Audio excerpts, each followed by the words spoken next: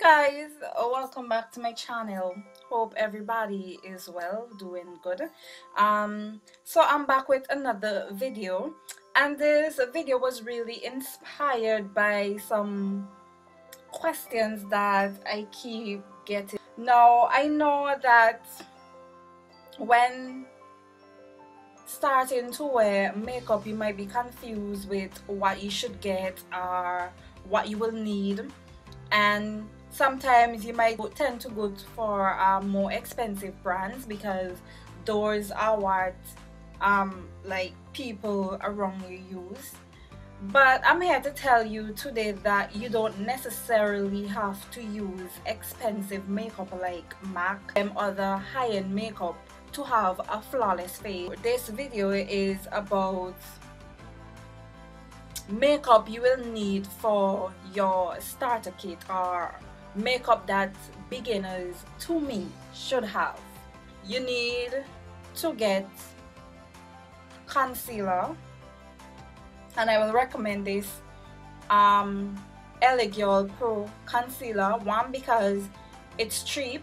It's like two dollars to US dollars or less according to where you get it from. It has good coverage.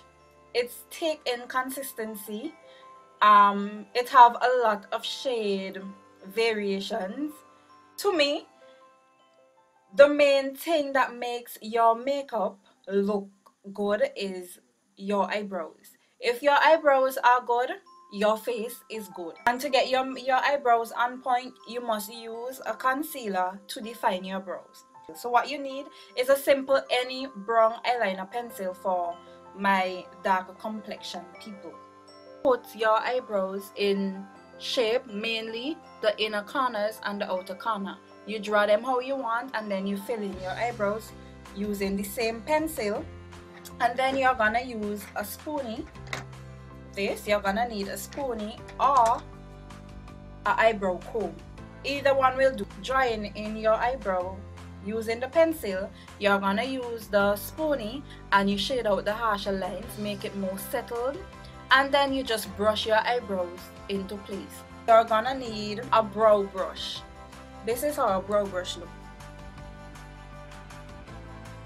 Because this helps you to, to control the amount of product you use. You're gonna want to be rational when it comes to using a concealer because too much of concealer it will leave like a harsh line above and below your eyebrows and you don't need that define your eyebrows properly and after you're gonna need it to blend in the excess concealer now for your face you're gonna need a foundation now this foundation is a little higher end foundation but I'm only using this today because my e.l.f. Flawless Foundation is out. There's so much other good foundations out there. I've made a list of some that I wanted to tell you guys that you can try because these are very good foundations. They give good coverage and if once you find the correct shade in most of them, trust me, they will work just as good as MAC. I will also leave the list of these foundation down in the description bar below so you can check that out.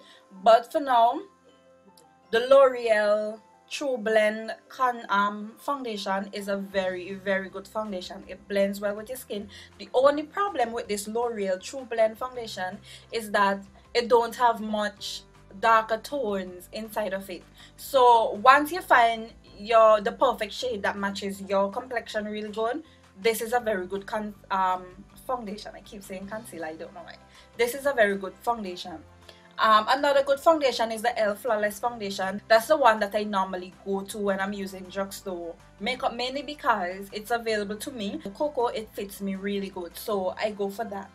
Another good foundation is the Revlon Color Foundation. Now this I would recommend above all else. It has a good bit of color. You will most likely be able to find your shade in that. It gives you a very good co um, coverage. So if you have a lot of blemishes and stuff this is a very good um, drugstore foundation to use. And finally I have here the black opal stick foundation. Now me personally I've never used this uh, black opal stick foundation. But a friend of mine that is what she uses all the time and it works really good for her. I admire the way it looks on her.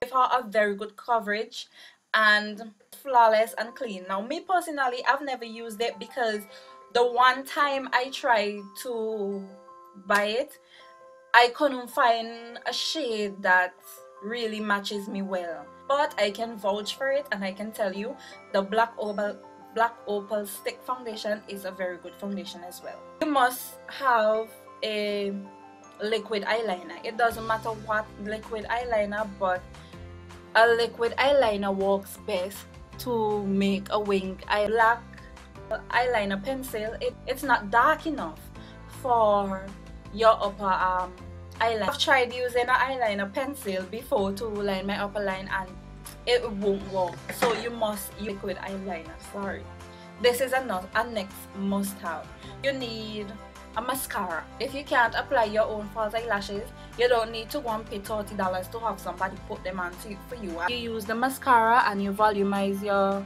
eyelashes. Some mascaras help to lengthen your eyelashes. Some just make them a little bit thicker. And at this moment, I'm not wearing any eyelashes, just this mascara. And I find my makeup look pretty good. Another thing you're gonna need is for your face is a powder. Now you don't have to necessarily use the same brand in powder as you use in your foundation. Nonsense. You know you just need a powder that would mattify your face. Because most foundation even though they say long lasting if you don't use a powder your face is gonna get oily throughout the day. Or greasy somewhat especially if it's a liquid foundation. Moving on you're gonna also need a lipstick. A red lipstick fits any body.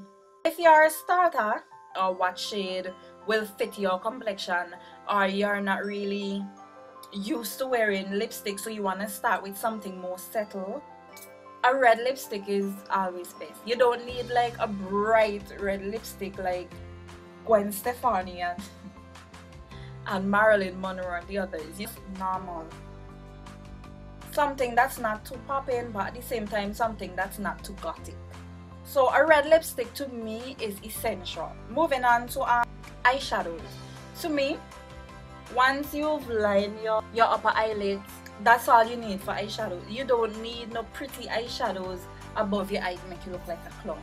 If you feel like your eyes are too bare and you want something over your eyes don't write pink. You don't know how to blend properly. Go for something more neutral something that's natural looking. It matches anything you're wearing. It matches any complexion whether you're lighter skin tone darker skin tone eyeshadow is not uh, essential to your starter kit to me because your wing eyeliner is good enough it gives it gives your eyes enough attention for starters, you don't necessarily need foundation brush, a stipple brush or any brush at all to apply your foundation. For starters, I would recommend that you use your hands, mainly because it will allow you to control the amount of product you put on your face and it will also allow you to blend in your makeup into your skin properly and more controllably, I should say. Yeah, but if, if that's too messy for you and you prefer to use a brush, I would recommend a stipple brush. Now, a stipple brush is one of those brushes that is thick in the roots but have more thinner fibers to the end, like this. This is kind of dirty, you get the point. This allow you to press the foundation into your skin and blend it properly. And also, to me, a stipple brush give you more coverage than any other thing you use, any other brushes or even your hand. Another brush that you will need is a powder brush. Now you will need this powder brush to apply your face powder because most of the time the sponges that come inside of your powder it picks up two product at a time. Take a lot more time to have all that blending. I would not recommend you use these sponges that come inside of your face powder for a beginner because you will not get your makeup look as flawless and as natural as you would like. This is what I use to apply my eyeshadow because it's more controllable than a brush. And you don't need to buy these because most eyeshadows come with one of these inside. Let me just go over the stuff that you will need for your starter kit you need a powder brush a stipple blush. This is not essential. A concealer. You need a red lipstick. You need a liquid eyeliner a black eyeliner pencil, um, a brown eyeliner pencil, a spoolie or eyebrow comb, you're gonna need an eyebrow brush or one of these flat surface brush will do. Your foundation mascara and powder that's all you need for your makeup starter kit when I just started off doing my own makeup these are all the brushes I own for months. These were all the brushes I need I used a stipple brush a powder brush a eyebrow brush eyebrow comb and one of these spongy stuff that comes in your um, eyeshadows. This is all I was using for months. And and I was still getting compliments on my makeup. People still used to meet me and ask me like, what do you use on your face? Your face always looks so flawless. I like your makeup. So guys, I hope this video was helpful and I hope that it it have answered a lot of the questions I've been that I've been getting especially the beginners who've been asking me like what do I need to get to get my makeup look like yours what do I need to do like you don't need to spend a hundred, two hundred dollars on MAC and other expensive products to get a flawless finish. ELF is not available in your country makeup store. I have a list of, a list of other liquid eyeliners that might be available to you.